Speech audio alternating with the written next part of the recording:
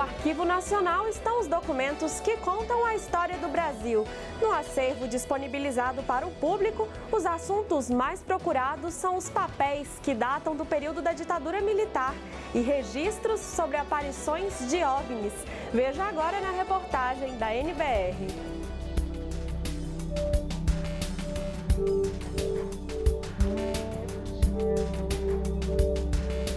Criado em 1838, no Rio de Janeiro, o Arquivo Nacional é a segunda instituição mais antiga do país, fundado 30 anos após a imprensa nacional. Com a função de preservar e divulgar documentos públicos, o acervo tem papéis que datam de 1535.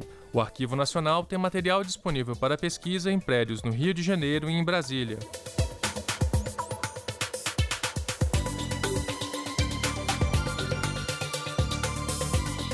A estudante do curso de arquivologia na Universidade de Brasília, Clara Andreozzi, diz que aproveita o arquivo para pesquisar temas relacionados aos seus artigos acadêmicos. Ele está guardando todo o nosso patrimônio histórico, né? toda a história do Brasil e também todas as relações que a gente teve aqui. Então, toda, toda essa informação que ele traz é, é muito importante que seja bem é, preservada.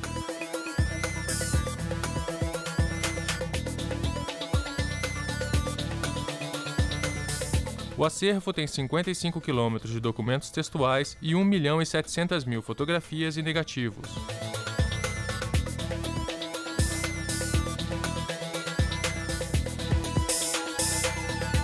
Os documentos mais procurados são os relacionados ao período da ditadura militar.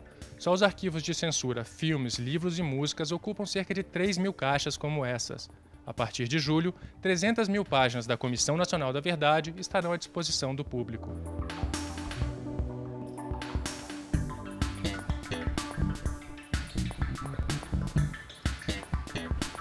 Sociedade brasileira esperou 30 anos, quer dizer, do fim da, da ditadura em 85 para chegar a 2005, quando o presidente Lula então fez o decreto e tira da BIM, né, Agência Brasileira de Informações, a documentação do serviço secreto do governo militar, que é o SNI.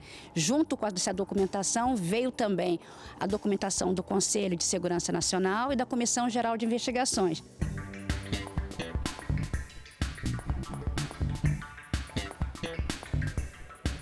Outro tema que desperta o interesse do público são os OVNIs, objetos voadores não identificados. O Arquivo Nacional disponibiliza na internet mais de 700 dossiês com formulários, desenhos e fotos, que são enviados a cada dois anos pela Aeronáutica.